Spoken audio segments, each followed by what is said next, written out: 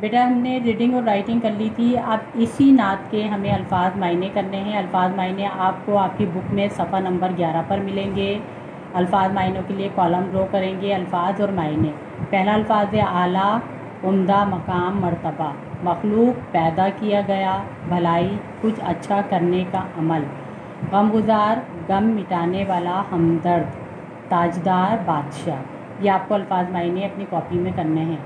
अब आपके पास आएँगे सवाल के जवाब सवाल है, हमारे पास शायर ने किसकी ज़ात को सबसे आला कहा है? जवाब लिखने के लिए, बेटा, जवाब पूरा वैसे ही रहेगा, शायर ने किस हटा के सिर्फ़ यहाँ पर आ जाएगा? हुजूर अकराम सल्लल्लाहु अलैहि वसल्लम की ज़ात को सबसे आला कहा है। सिर्फ़ किस की जगह? हुजूर अकरम सल्लल्लाहु अलैहि वसल्लम आएगा। सवाल नंबर दो, हक का पैगाम हमें किसने दिया है? इस जवाब में भी हक का पैगाम हमें किस हटाकर हुजूर अकरम सल्लल्लाहु अलैहि वसल्लम ने दिया है?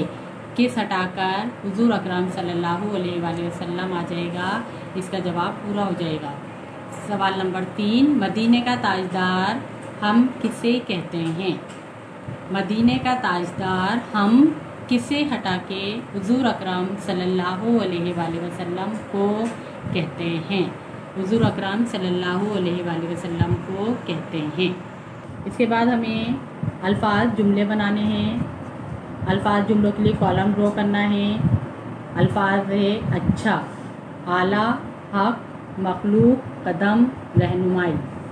अच्छे का जुमला बनेगा, मेरा दोस्त बहुत अच्छा है।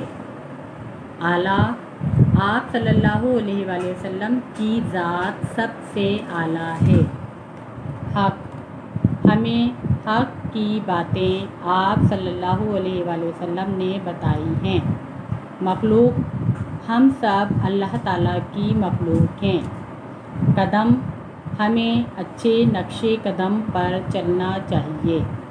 रहनुमाई, आप सल्लल्लाहु अलैहि वसल्लम ने तमाम इंसानों की रहनुमाई की। ये आपके अल्फाज, जुमले मुकम्मल हो गए हैं। अब आपके पास इसके बाद आप करेंगे दुरुस्त जुमले लगाकर शेर मुकम्मल करें।